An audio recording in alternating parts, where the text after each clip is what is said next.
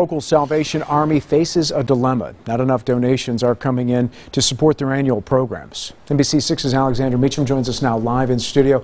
Alex, how much money do they still need to raise? Well, Dan, the Salvation Army is facing some tough times because the Red Kettle program is down by about $100,000, and this is their major fundraiser of the year.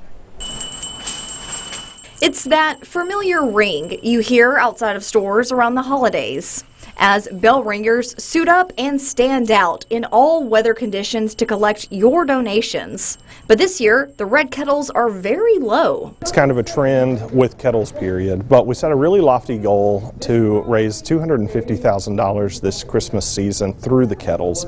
Kettles is, is a hard fundraiser, especially when the weather's been as bad as it's been this past season. Major Morton says the Salvation Army still needs $120,000 to meet its annual budget goal that serves eight parishes. The money funds their community programs, such as after school programs at the Boys and Girls Club, plus food and shelter at their Center of Hope program for adults. Last month alone, we helped over nine families find permanent housing, you know, and that's just in one month. It's people coming into our shelter, needing a place to stay, coming looking for, uh, for hope for a better tomorrow and we're able through our case management and, and, different relationships to, to help them out. He says if they don't meet the goal, those programs will be impacted. So Morton says while you're out holiday shopping, think of them and drop in a quick donation. We're a, an army and that's what it takes to make a difference. So we just want to invite people to, to join us and be a, a force for making a difference in these communities that we live in.